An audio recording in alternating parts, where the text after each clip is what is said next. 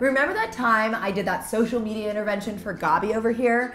Well, it didn't really go that well, but we're gonna try this again because we're in need of another kind of intervention. Except for this intervention is an intervention from us to us because we just kind of realized this, but there's a strong possibility that we might be a part of a cult. As in a thousand percent, we are a part of a cult. Accidentally.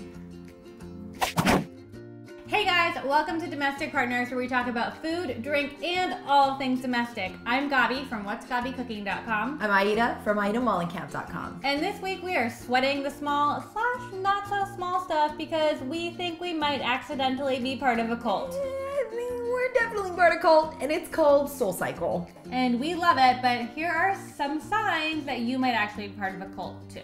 Number one is a uniform. Take Aida for an example. She's wearing skin tight pants, her bra's hanging out, she's got a bright Soul Cycle shirt on, and her hair's curled. Clearly, she's ready for a Soul Cycle class. Totally 100% ready. And then, of course, there's an issue of exclusivity who they let in, who they don't let in. Like at Soul Cycle on Mondays at noon, they release all the bites, 11.59. Go, go, go. Most stressful two minutes of our week. Oh, I didn't get the bike I want to get on. Oh, find my inner peace.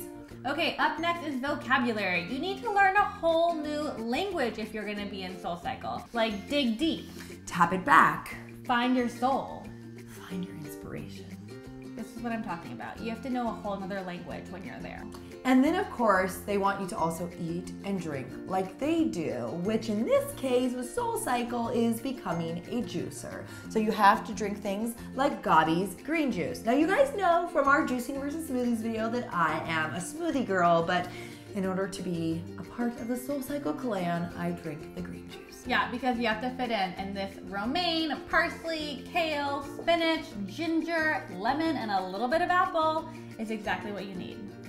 Okay, and I think everyone knows that every cult has a leader, and Soul Cycle not only has one leader, they have many who make you submit to their commands, and if you are not on beat, you are exiled. Basically, your teacher is your cult leader.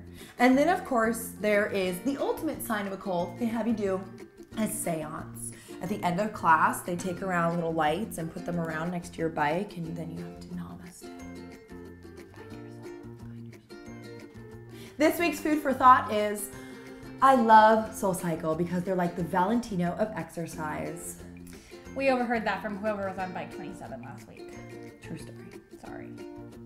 All right, that's it for this week's episode of Domestic Partners. We will see you right back here next week for another episode. And if you think you might be part of a cult, let us know below. We'll resolve this together.